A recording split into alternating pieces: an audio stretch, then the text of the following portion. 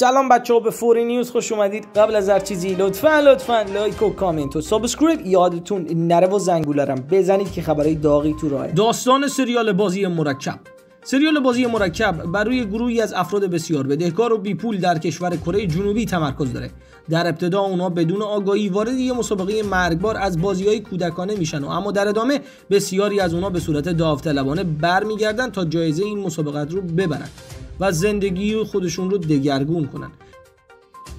ژانر داستان تکراری. رقابت برای بقا در بسیاری از عناوین سینمایی و تلویزیونی به تصویر کشیده شده و فیلم های زیادی با این مضمون ساخته شده. اما بازی مرکب یه سریال کپی و تقلیدی نیست. این سریال یه اثر ترسناک و درامه که به خوبی ساخته شده.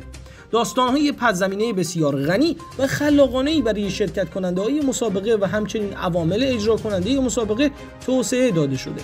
سریال بازی مرکب دارای درون مایه تاریکی و بسیار خونین و خشونت آمیزه.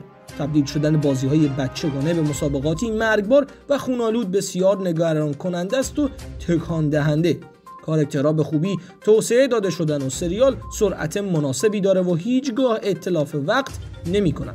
کارکتر اصلی سریال بازی مرکب یه پدر مستاصله که به راحتی میشه با اون ارتباط برقرار کرد.